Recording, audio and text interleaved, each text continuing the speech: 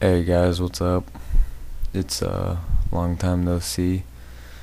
I haven't really been making a lot of videos lately. Um, I've mainly just been busy with quite a few things, school, band shit, and just doing a few things here and there, trying to get some money. You know, trying to move out of this place.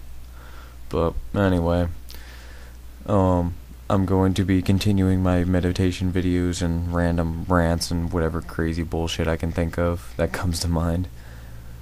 And um, yeah, that's all I really wanted to say for now. Just for update wise, I've been trying to get some money for a camera as well, so I can start making more videos a lot more frequently and stay consistent.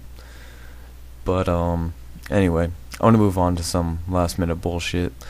I ran into these two sites.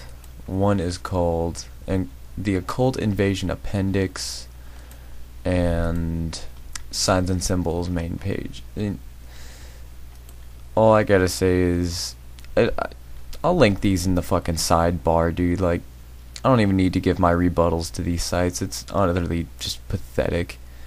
Just go read these yourself and check them out. It, it's honestly somewhat humorous. So, anyway. I'm out. I'll be releasing some more videos probably tonight, so stay tuned. Alright, have a good night. Hail Satan.